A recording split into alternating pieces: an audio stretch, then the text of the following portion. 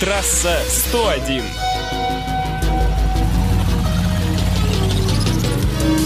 Приветствую, в эфире трасса 101. Владимир Сметанин не нарушает. Почти. Сотрудники ГИБДД не могут запрещать водителям снимать их на видео, а также осуществлять фотосъемку и аудиозапись. Об этом, по данным известий, говорится в письме, подписанном руководителем госавтоинспекции Михаилом Черниковым. Так он отреагировал на сообщение автомобилистов о том, что инспекторы теперь требуют выключить записывающее устройство, ссылаясь на то, что во вступившем недавно в силу новом административном регламенте о съемке ничего не сказано. Однако право гражданина на поиск, получение, передачу и распространение информации любым законом законным способом закреплено в 29 статье Конституции, говорится в вышеупомянутом письме. Трасса 101.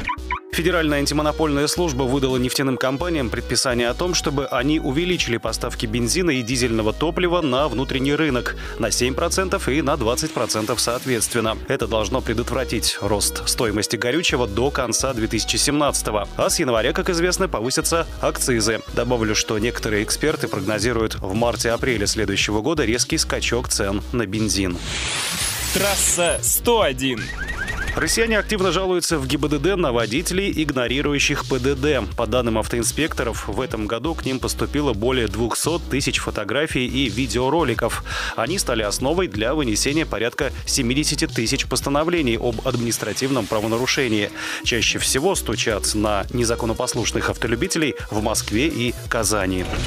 Трасса 101. Первой половине 2018-го китайский автомобильный завод номер один начнет продажи в России компактного кроссовера D60. Машина будет комплектоваться бензиновым двигателем объемом либо полтора, либо 1,8 литра.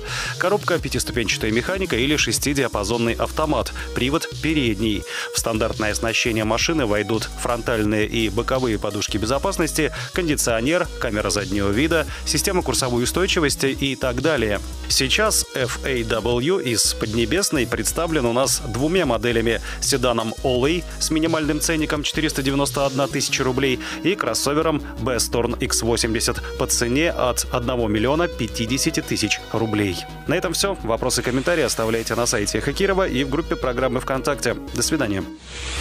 Трасса 101.